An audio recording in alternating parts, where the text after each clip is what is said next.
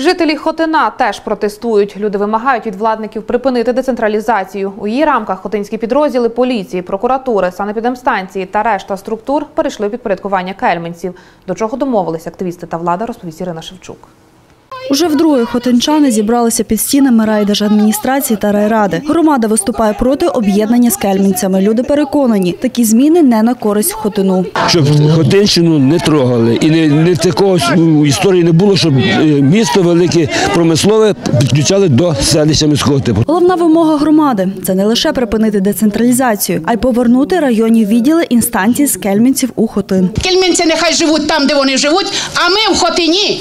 Ми є народ тут, який хоче мати децентралізацію нормальну, а не таку, яку нам предлагають. Люди обурюються. Достукатись до владників нелегко. Чому, коли йдуть люди, у нас керівники всі зайняті? Зайняті, нема часу. Створилася ініціативна група, створилася, зібралася громада. Є час.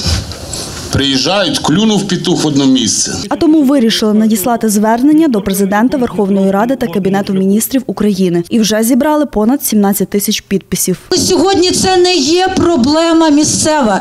Сьогодні це є проблема Кабінету міністрів України. Я наголошую на цьому. Це є проблема кожного міністерства і відомства, кожного державної установи. На підтвердження рішучості своїх намірів протестувальники перекрили центральний автошлях, що пролягає через атаки та дорогу, що веде до Кельмінців. Якщо до керівництва, яке реально керує цими подіями, не дійде, то звичайно буде більш масштабна акція, ну і більш радикальна. На затори водії не скаржаться, а навпаки, з порозумінням ставляться до активістів.